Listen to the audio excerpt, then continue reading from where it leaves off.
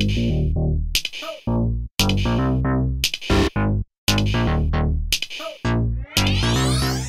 feeling uh, great. Um, really happy to have got it.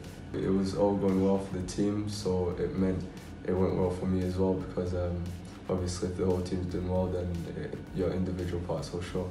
Yeah, of course I remember. I, just remember um, running in behind and then um, got a through ball, and um, as soon as I was on goal, I could just I could see it coming, and uh, I was buzzing to get it. Yeah, felt unreal in front of the, the town fans. Um, and obviously it was my first professional goal, so it meant a lot.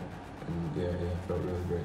Um, he's helped me a lot as a player and as a person. Um, he's uh, looking after me, and since I've been here, he's given me the opportunity to play and start every game, and um, that's helped me a lot. And he, he, he has faith in me, so so that helps my confidence, and it helps me a lot as a player like I said, um, everyone's got their own path and, and, way to, to make it into professional football, whether that's through the club you play for in the youth team, making it to the first team, which is very hard sometimes.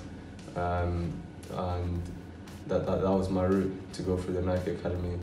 Um, lots of clubs were, were looking at me, and um, uh, I felt that the best thing for me was to come to Grimsby um, as I would be playing first team, whereas if I went somewhere else, I'd probably be playing under 23s. And um, this has helped me much more as a player as well. I, I know how good I am, and um, I know um, I knew I would come here one day and uh, make it happen. So hopefully I do go all the way to the top. Um, I want to become one of the best.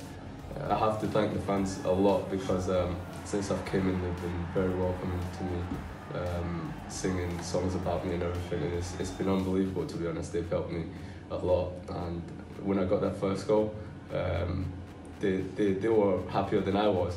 And um, it was really nice to see that, and I was, I was really happy. So um, I'm thankful to the fans.